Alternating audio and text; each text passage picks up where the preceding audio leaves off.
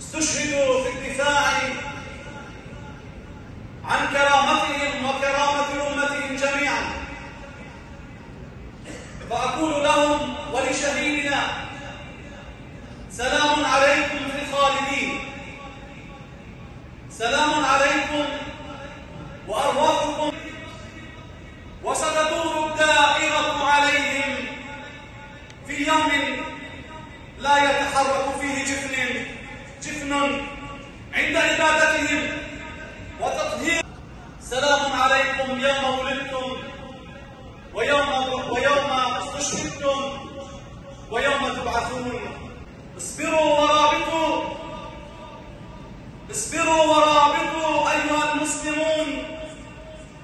فإن اليهود يسيرون إلى خطفه دقائق على هذه الحقائق الحقيقة الأولى فلقد كشف